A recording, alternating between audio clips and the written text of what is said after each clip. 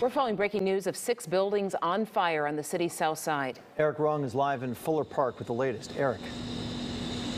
Well, good morning, and I just spoke with one of the firefighters in charge out here. He actually tells me it's seven structures, four in the front, three coach houses in the back. I'm going to try and give you an idea of exactly how this all started here piecing this together through neighbors. I want to point to this one house so you see that the ladder truck is pouring water into. We're told that is an abandoned house. That is where neighbors tell me this fire started and then spread it to the two homes on the other side and then of course the coach houses in back.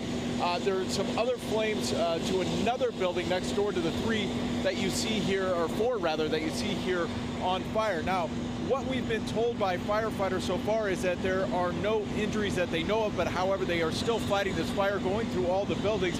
There are some pets, though, that are uh, and have been receiving a lot of aid from firefighters here that were inside uh, a number of the buildings here. You can see that firefighters are administering oxygen uh, to, to tr really try and help these uh, little puppies here uh, survive this fire. Uh, we do expect to get a lot more information from Chicago uh, Fire Department here uh, momentarily, but again, they are still busy uh, fighting this fire. We are at South Princeton and 49th in uh, Fuller Park, and this fire has been going now since about 3 o'clock this morning, but again, as uh, right now, firefighters are telling us that there are uh, no one was injured. Everybody was able to get out of the homes that uh, were occupied. But again, they believe that this started in an abandoned home in the middle there that they're still pouring water into. We, of course, will be out here and hopefully we'll get a little bit more information from firefighters when they get a chance uh, from uh, a little bit of a break from fighting this fire.